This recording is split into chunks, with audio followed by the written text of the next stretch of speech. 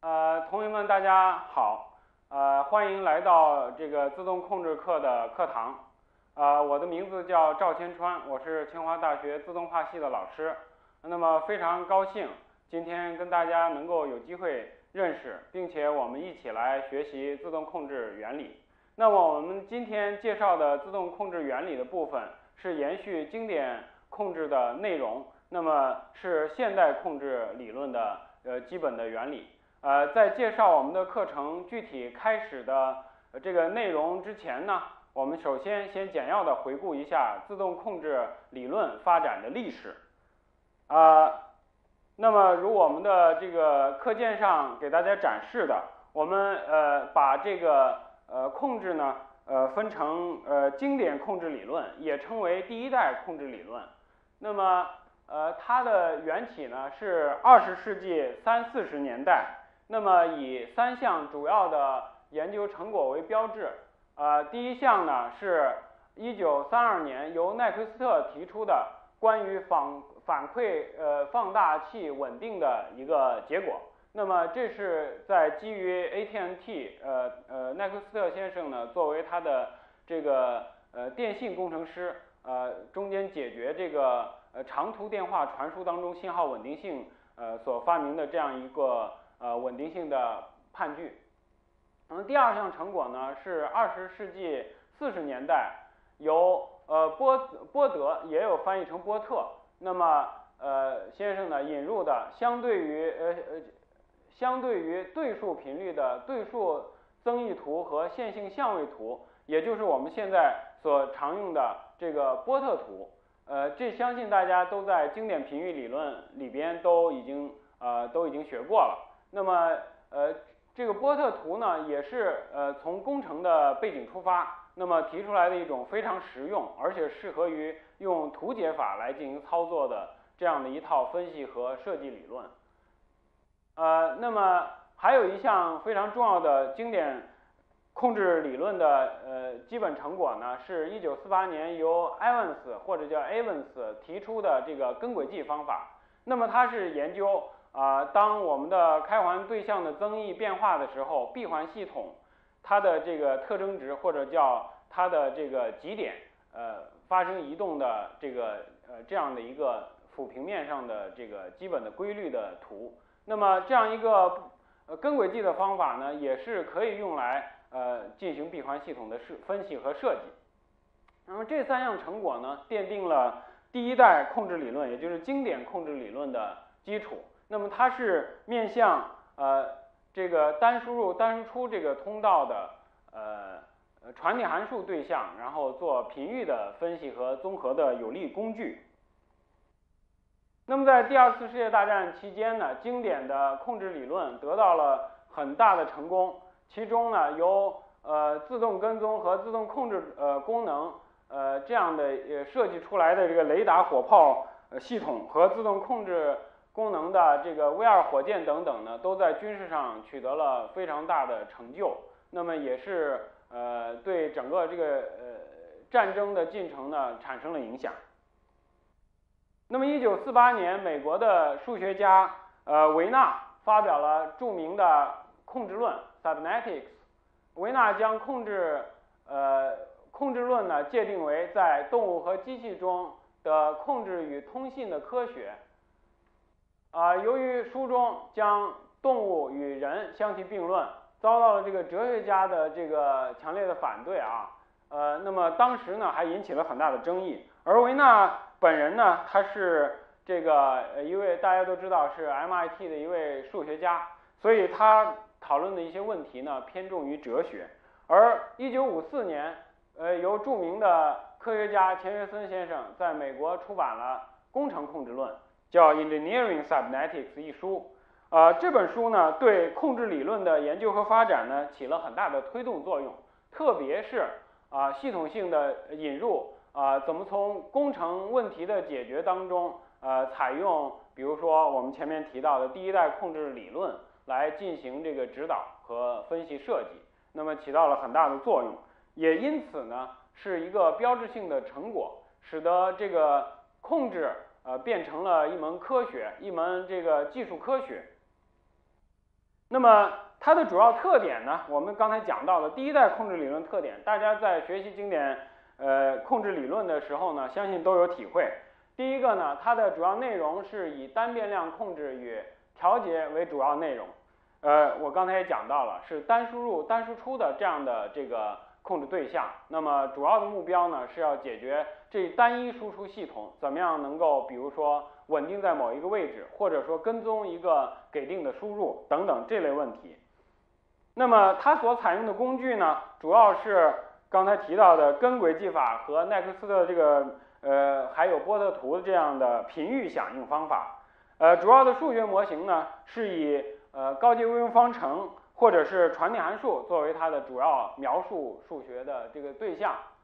啊，优点就是它在工程上实用性强，呃，方法简单，概念清楚，便于计算。比如说它的概念像零点几点啊，是呃有非常直观的物理含义。那么在多数情况底下呢，我们就可以根据系统的固有特征，包括做一些这个简单的分析，就能够把这些主要的这个影响系统的动态、静态的稳定性，呃呃，动态性呃稳静态的这个性能指标呢，都可以分析出来。那么呃非常方便于在工程上进行实践和操作。另外，它的这个模型建立呢，由于它是关心的是输入输出的这样的模型。所以呢，也是在这个建立起来比较容易。比如说，可以通过这个系统辨识的方法，黑箱模型，那么只只要加上一个激励，得到相应的输出，就可以根据输入输出的关系来进行这个建模。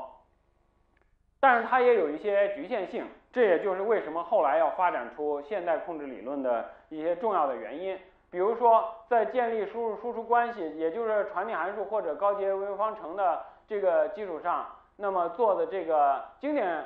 控制理论呢，它只知道输入和输出的关系，对系统内部就是说这个变化影响还是呃不是很了解，呃也就是说它不能够全面的了解系统完整的运动状态，也就是包括输入输出的关系和它内部的运动状态。而在这个工程上呢，这个比如说根轨迹法和频域法这两个主要的工具呢。呃，它有一些近似性，那么这些近似的呃呃结果呢，就是尤其是在做综合，那么呃这个过程当中呢，实际上它的这个呃要有一些依赖于经验，那么这些依赖于经验的话，呃，一个就是说因人而异，那么可能一致性比较差，有经验的设计出来系统就非常好，那么可能刚刚上手的他做这个分析，呃或者是综合就呃相对要。呃，稍微这个困难一些。还有就是说，这个呃，它对于这个比较复杂的情况，像这个多输入多输出系统的话，那么呃，由于这个传递函数就从呃单一的单变量的有理分式变成了一个有理分式矩阵，那么在做这个根轨迹或者是在做这个频域分析的时候呢，那么这个多辅变量的这个分析，实际上。就不再是一个简单的单一的辅平面了，那么这个分析起来就非常复杂。呃，至今为止呢，人们其实也做过很多努力，就是说希望能够把单变量的这个频域方法，像根轨迹啊，像这个这个呃波特图啊这些方法，想推广到多输入多输出的系统，但是发现，嗯，相应的这个辅变函数理论作为它的技技术的支撑的话，那么呃得到的这个。呃，这个极点随着增益的变化，呃呃，就变得非常复杂。那么，甚至有的时候还不能够呃得到一些呃这个非常明确的结论。所以，这也就是为什么我们说啊，这个经典的频域理论，第一代的控制理论呢，它基本上停留在这个单变量为主要的这个处理对象的这样的一个。这个阶段，那么虽然在单变量的呃系统控制当中呢，取得了呃很大的成果，但是呃对于多变量的这样的多输入多输出的系统呢，呃相应的这个结论就比较少。呃，当然后期呢，我们说又呃在我们我们呃呃这门课要介绍的这个呃现代控制理论部分呢，呃会介绍到怎么样来处理多输入多输出这样的系统。那么大家可以看到，呃，这个引入新的工具，是必要的，而且呢，这种新的工具呢，呃，从它的处理能力呢，要远远优于优越于这个单变量的这种有理分式的输入输出描述。当然呢，各种方法它都有各自的优缺点了。我们下边就要来介绍一下这个第二代的控制理论，也就是我们呃现在要呃这个呃接下来要认真主要来学习的内容。呃，现代控制理论呢是在呃上世纪这个五十年代末逐渐形成并快速发展的一门新兴的这个呃学科分支。啊，它的诞生呢。也是在工程实践的呃需求驱动下，呃，而且随着技术的进步、理论的发展，呃，特别是这个微分方程组的这个理论啊，它的发展，呃，互相影响底下形成的这个结果。那么我们说，第一个，它的这个现代控制理论，它也是从工程上出发，需要设计，比如说要分析设计高质量、大型的复杂控制系统这个需求。呃，特别是像这个多输入多输出的系统，它比单变量的更加复杂，而且它的要求可能更高。像我们说，呃，大家都知道，在上世纪这个五六十年代的时候，这个军备竞赛，特别是在太空当中的这个美苏的这个竞争是非常激烈，那么需要高精尖的这个控制啊。那么我们说呢，呃，在比如说这个航天方面，由于这个燃料非常昂贵，所以大家的控制呢。需要不但要考虑到这个误差要小，而且这个控制代价也要小，所以这就引出来呢更高质量的这样的控制，实际上呢就应运而生了。这样的一个要求呢，对我们来说，呃，也是一个完全新的挑战，因为在频域理论里头，一般呢没法做这种所谓的最优控制啊。对，呃，这是工程上的一个要求。这些要求可以概括为，呃，总的来说两个字，一个是。质量高，一个是这个规模大。那么，呃呃，刚才也提到了，这个苏联的人造卫星、美国的阿波罗登月等等，都需要新的控制理论来支撑。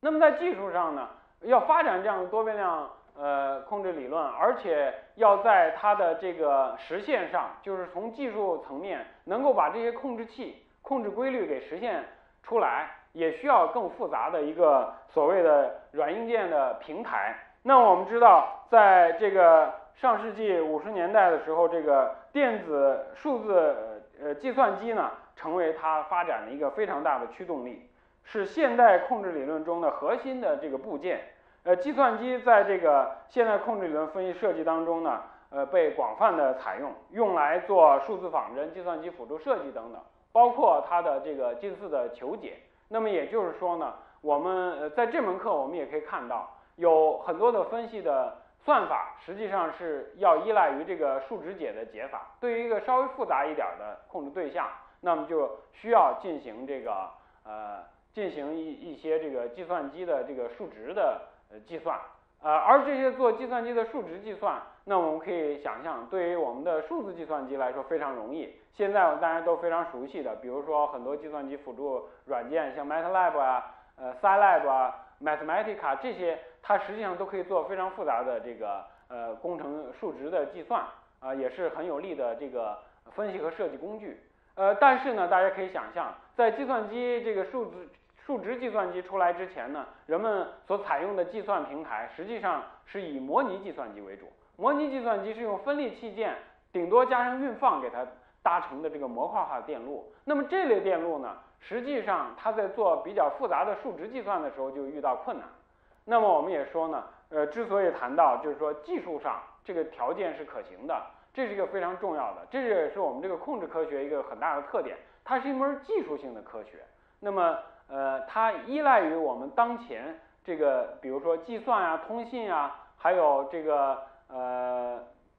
我们的这个控制所采用的这个技术的相关的这样这样的一个进展的程度，那么相应的要有合适的这个控制理论。所以，我们从这个第二代控制理论产生技术平台角度呢，也可以看到，就是说，呃，要发展或者研究这个控制。实际上它是离不开一些工程还有技术的先决条件的，啊，那么我们再说一下，就是在这个现代呃控制理论，也就是第二代控制理论，它的这个发展，实际上呢也是在这个有基础的，是以已经相对成熟的这个经典的控制理论作为它的基础。人们对于单变量的系统，它如何来分析设计，已经积累了相当多的经验。再加上近代的这个应用数学的发展，又为它提供了强大的这个技术支撑和保障。那么在五六十年代，呃，这个应用数学它有一些很重要的突破。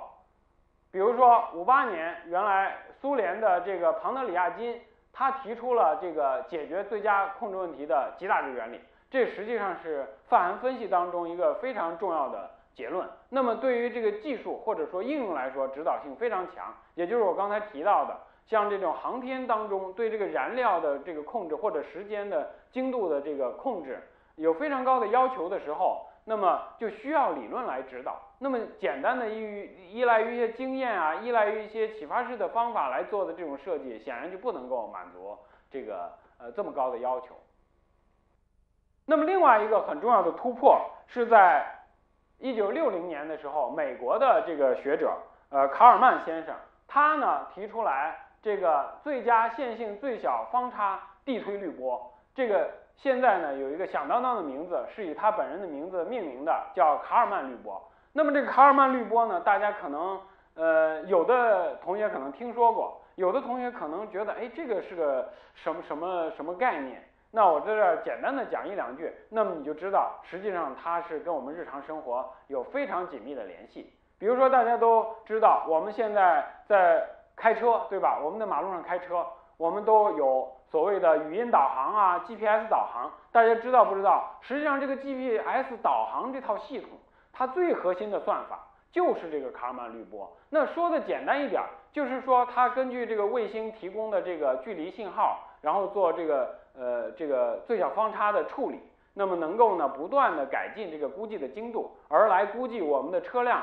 那么前进的方向以及它前进的速度，这样的一个。应用大家想，呃，我们可以知道，对我们的日常生活来说有非常广泛的应用，也是一个极其重要和基本的发现。所以正因为这个原因呢，卡曼滤波也是得到了工程界广泛的认可，这也是非常我们非常自豪的，就是现代控制理论里边一个非常基本的结果。那么卡尔曼因此而获得了呃这个 Drupal 大奖，这是工程上有这个诺贝尔奖之称的这样一个非常有名的工程的成就奖。呃，我想呢也是实至名归。那我们在这个课程当中，当我们学到关于这个能控能关的概念的时候，大家就会呃呃了解到哦，这个呃我们说卡尔曼滤波的基本概念呢是在这个能控能关的基础上呃呃这个提出来的啊。那么同年呢，卡尔曼滤波呃这个就是说提出者卡尔曼先生呢还提出了这个可控。可观也称为能控能管，我们中文翻译啊，呃，这样两个概念，实际上它也是在我们这个第二代控制理论，也就是现代控制理论里头起到非常基本核心的概念，因为它能够把我们的输入状态和输出，就是也就是状态就是系统内部的这个动态过程呢，能够联系起来，并且说清楚在什么条件下我们的输入能够完全的呃决定内部的状态的演化过程。那么什么情况下，我们根据输出能够完全推测系统内部的状态变化过程？而基于这些概念呢，我们可以有非常系统和完整的这个呃呃现代控制里边的呃反馈控制设计方法。那么我们也会在后边的内容里头讲到。还有一项重要的成果是，呃刚才提到这个美国的这个也是美国的学者贝尔曼，他在一九五七年提出了这个动态规划算法。呃，并且呢，在呃五十年代后期，他提出了状态变量方法。这个状态变量法正是我们呃接下来要学习的这个现代控制理论所采用的基本的数学模型，也就是这个状态方程和这个输出方程构成的状态空间描述方法啊。那么我们知道，这个归功于这个贝尔曼等人他们的一个非常重要的理论上的总结，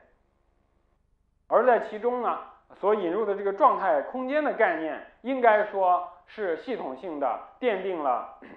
呃现代控制理论的基础。在一九六零年，美国自动控制第一届联合年会上，呃，首先提出了现代控制理论这个名词，从此诞生了就是第二代控制理论。那么它的这个特点呢，是以多变量控制、最优控制作为它的主要内容。这个跟我们前面讲的说经典的控制理论是以单变量，并且是基于经验的这样的设计方法呢，形成了鲜明的对比。从它的复杂性，呃，到它的这个呃控制的呃这个质量都呃有很大的提升。那么采用的方法呢，我们也把它称为时域方法。以状态方程作为它的数学模型，呃，它的优点呢，当然很呃很很明确，是呃适用性强，描述线性或非线性、常系数或者是这个变系数系统，呃集中参数甚至是分布参数，呃状态方程都能够进行描述。它引入了系统的内部输入输出这样的关联关系。所以它呢能够描述系统的完整或者叫全部的运动状态。那么当然是任何一个方法啊它都有它的局限性。我们在这个学习当中呢也特别要注意，就是说呃如何来呃了解我们任何一个知识一个概念它适用的范围。那么它的缺点呢，状态方程呢它这个模型啊它的这个物理直观性比较差一些，模型的结构和参数的这个物理概念不是特别的明确。不像我们说，在这个传递函数里边，我们的零点几点都有非常鲜明的物理意义啊，直接和我们的这个模型的这个分子分母多项式就关联起来了。但是呢，我们说在状态空间模型的描述里头，它有一些参数矩阵，而这些参数矩阵你没办法直接看出来，就像它的一些结构性质，比如说就是零点几点这些内容啊，这个呢可能就影响到我们说在分析啊，特别是我们在决定这个。整体的一些这个呃架构，就是控制系统的架构的时候，可能会带来一定的限制，包括它的模型参数怎么样来确定，这个都有一定的影响。好，呃，现代控制理论呢是在上世纪五六十年代的时候呃奠基，并且呢逐渐完善起来的。呃，随着我们说这个社会的进步，也是在需求的驱动。这个技术的进步和理论发展这几个方面推动下呢，又在七十年代上世纪七十年代以后呢，呃，形成了这个大系统理论和智能控制理论的为核心的这个第三代控制理论。这个理论呢，它的这个主要的特点是，呃，控制呢向着广度和深度不断的发展。那么大系统特别的指是个规模大、变量多。而且有的时候成一些分布的特色，那么它是要把状态方程和代数方程结合起来，那么还要综合运用状态空间和运筹学的相应的方法，主要研究这个呃稳定性、最优性模型呃及其模型呃降阶等等这些问题。那么智能控制呢，它是希望在这个控制的这个思路上能够进一步的拓宽，是把这个。呃，仿人的或者叫人工智能的控制和这个信息处理呢结合起来的这样的系统，它最典型的就是智智能机器人的出现。发展到这个阶段呢，呃，实际上呢也是除了我们说需求以外，还有就是多个学科相互交叉融合，那么呃影响更加的广泛。当然呢，这个难度理论的突破的难度也就更加的这个有挑战性，呃。但是呢，我们说也已经开始有一些这个很好的应用。那么，呃，系统科学家呢，从五十年代中期的时候，我们可以看出来，这个多学科交叉融合一个本源的动力呢，是从研究人工智能的这个呃一些进展开始。人工智能它主要目标呢，是研究用这个计算机来实现某种智能行为，以及研究。用计算机来模拟人的思维功能，从而实现智能的行为。呃，比如说我们说特别有名的，在一九九七年的时候，呃，有这个 IBM 公司研制出来的一台电脑，它这叫呃深蓝电脑，和这个国际象棋大师卡斯帕罗夫呢有一个对局，最后呢，呃，居然呃战胜了这个呃人类的这个国际象棋顶级大师，所以这个引起了很大的轰动。实现了，就是说，呃，早晚有一天，这个智能机器可能在某方面，特别是能够超越人的这个智能。实际上，我们如果想一下，当代的这个搜索引擎，像呃这个百度百科呀、Google 啊，他们在这个搜索和记忆能力方面，我想已经远远超过我们某一个个人，比如说百科全书甚至的这个范围。这也就是说，体现出来机器和人的这个智能的融合，那么呃可以推动我们说技术的进步。另外呢，就是控制论，呃这个呃在这个人工智能的基础上，它这个发展啊是呃呃也是特别的随着计算机的发展有了广泛的应用。我们知道人工智能在计算机的这个技术的发展的推动下呢，呃有很大的这个呃起飞。那么这个智能控制。呃，现在已经呃有很多的这个呃，每年都有很多的这个学者呃发表相关的论文，包括这个智能控制学术会议也是都是每年都有，成为这个自动化领域的非常重要的一个国际性的会议。那我国著名呃科学家钱学森呢，把这个系统的研究领域推广到开放的复杂巨系统的范畴，这个应该说呢，无论是在思想上还是在这个甚至哲学的层面都已经呃远远超过了我们说传统的控制对象，即使是我们说这个大系统也超过了这个范围。原因是什么呢？因为实际上它把地理信息系统、环境、社会，尤其是这个人脑和人体等等这样的复杂的系统，都呃包括在这个复杂巨系统的研究范围之内。呃，特别是在一九九零年。呃，钱学森先生提炼出来了开放的复杂巨系统的这个方法，是从定性到定量的综合集成方法。这个呢，应该说是在无论是在呃控制理论，还是在这个系统工程和哲学领域，都是一个创举。那么呃影响非常大，而且对我们的国家的这个呃呃高层的这个决策也形成了很多这个非常有应用价值的这样的。呃呃，这个成果，那么他特别强调的是把人呃以及这个专家的群体的这个经验和数据计算机的技术，呃以及底层的这个实时控制的这些方法呢，能够进行有机的结合，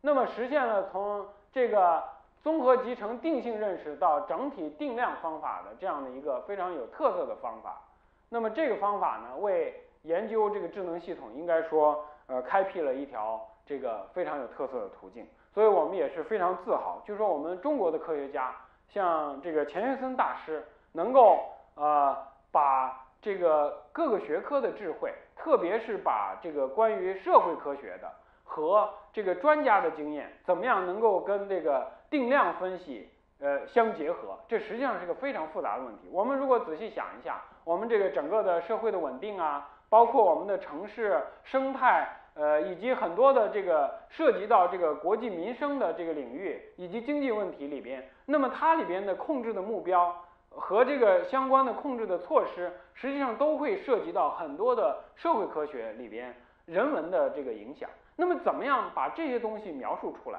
并且结合在一起，做一个能够质量更高，然后这个能够这个规模更大的这样的一个整体的分析，实际上这是一个非常有挑战性的任务。那么我们很高兴呢，就是说，呃，在钱老的带领之下，特别是在比如说军工的领域，航天，比如说，那么已经形成了非常系统化的这样的应用的方法，是特别是从顶层的定量到底层的这个呃这个呃这个定性定量结合，那么都是这个有很多研究成果，在这里就时间所限呢，我们就不仔细介绍了。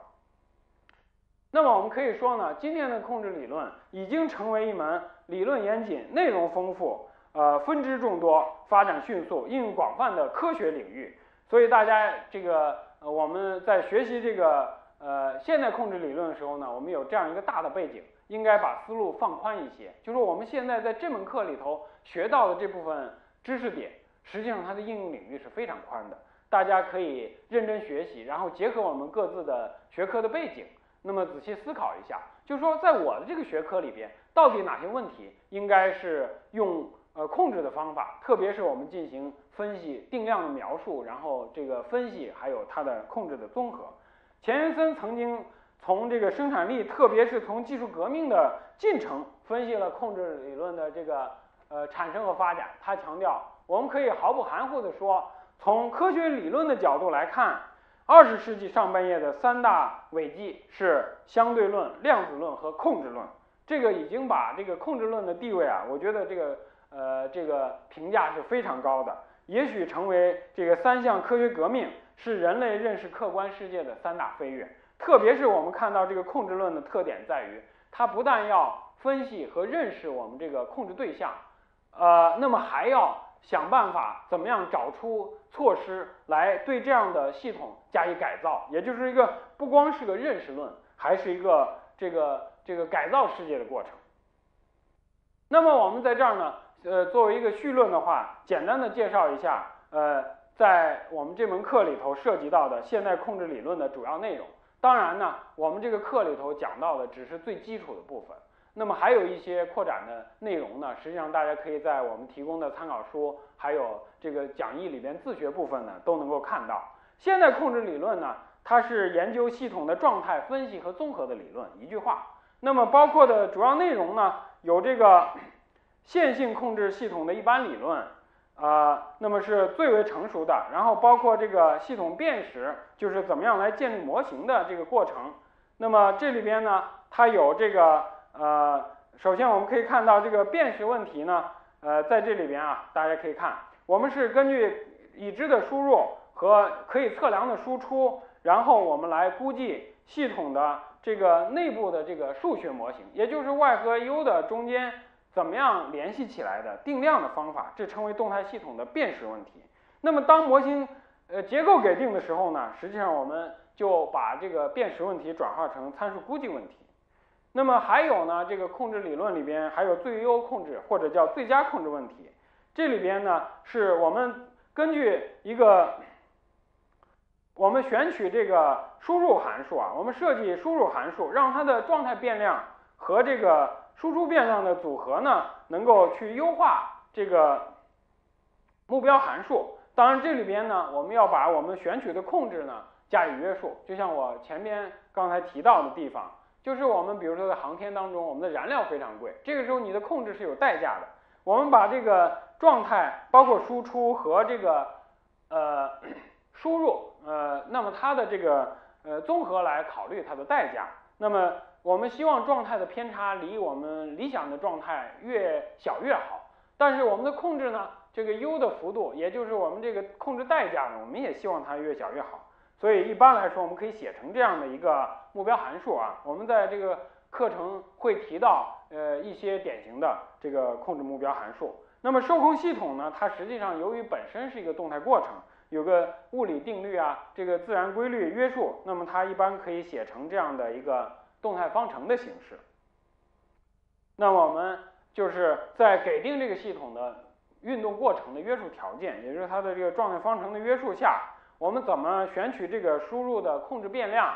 让这个控制又经济，我们的最终误差又小，让这个目标达到最小，那么这个就称为最优控制问题。那我们呃，比如说我们这刚才提到，就是说这个呃具体形式的话，我们可以有二次型函数来刻画的这样一个呃呃这个终了的条件加上这个积分的一个过程的约束。那么我们这样的一个问题呢，特别的给它个名字，叫线性二次型最优控制问题。呃，在这个解决最优控制问题当中呢，我们前面提到的呃这个主要的这个呃第二代控制理论两个。大的理论呃方法呢，一个是呃庞德里亚金的最大值原理，一个是贝尔曼的动态规划方法，这是解决这类这个最优控制的最基本的方法。那么还有最优滤波，像我们提到的卡尔曼滤波理论，也是这个现代控制理论研究的内容。当然，由于学时所限，我们这儿呃这个课里头呢不会深入的去讲解，但是我们提供了相应的材料，大家可以自学。那么这个滤波呢？实际上也称为这个最优估计，它这里边呢是如何从带有随机干扰的这样的这个输入和输出来推测状态变量的情况。像我们刚才提到的这个 GPS 的定位原理就是这样。我们从卫星当中接收的信号，实际上由于大气的影响，或者说我们这个检测精度的影响，它总是带有一定误差的。就这个我们的这个测量的信号啊，这个 y 是我们可以测量的。那么它这个误差呢，可能对我们直接估计的话产生影响。但是如果我们累积的、不断的迭代运行，那么利用这个卡尔曼滤波的理论呢，我们可以得到一个渐进的最优估计，使得呢我们平均来说，我们估计的方差最小，也就达到了最优估计。那么应该说，上述的这些主要内容也都是这个呃现代控制理论里头非常重要的问题。我们这个课里边呢，会选择其中最最基础的一些概念来讲解。那么还有，当然它的发展呢。呃，总是在进步。那么，像随机最优控制、自适应控制、分布参数系统、非线性控制理论、多变量这个反馈控制的现代频率方法、容错、鲁棒、H 无穷等等，这都是呃在近些年来呃不断的发展的这个呃现代控制理论内容。我们这个课里头讲解的主要的知识点呢，包括四个模块，一个呢就是我们这个首先要介绍。现代控制理论它的数学模型，也就是其中的状态空间表达式，就是我们怎么从数学上描述一个控制对象。第二部分呢，我们要对线性定常系统的状态方程呢进行求解，也就是说呢，我们对这个数学模型呃来展开分析，那么了解这个动态系统它的内部演化的过程，受到初始条件和输入信号的怎么样一个影响，以及这个发展的趋势。那么第三章呢，我们要介绍这个现代控制理论状态变量方法的一个最最重要的控制能控性和能关性的概念。在在此基础上，我们会再介绍线性定常系统的综合这个理论和方法。那么这就是我们这个呃在这门课里头会跟大家一起来呃在课堂上我们认真的一起来。呃，学习并且打下一个坚实的基础，为我们了解整个这个呃现代控制理论它的全貌，将来呢了解它更新的分支呢打下基础，也是像我们说这个大系统理论和智能控制这些理论方法的一个基石。那么，所以呢，我希望我们大家呢一起能够非常热情的，我们非常认真的来共同完成这部分内容的学习。啊，也相信大家，如果你有很好的这个经典控制理论的基础，那么学习这部分呢，当我们能够一起把新的概念搞清楚的时候呢，也能够取得很好的结果，这样为我们完整的了解这个控制理论的全貌呢，能够打下一个良好的基础。呃，这里边呢会，呃，除了我们在这个教学大纲里头指出来的这个参考文献外呢，大家还可以看。这个一些其他的这里面列出来的这个参考文献，有些是英文版的，呃，那么有些是有中译中中文那个翻译的，呃，应该说呢，这些呃教材都是也都是呃使用非常广泛，而且从不同的角度各有侧重的来，要么在理论系统上非常完善，要么是在工程应用上很有特色。那么我希望大家呢，在学习过程当中呢，也可以利用这些参考资料。好，那我们关于这个课程的一个大概的一个介绍序论呢，就介绍到这里。我们先稍微休息一下。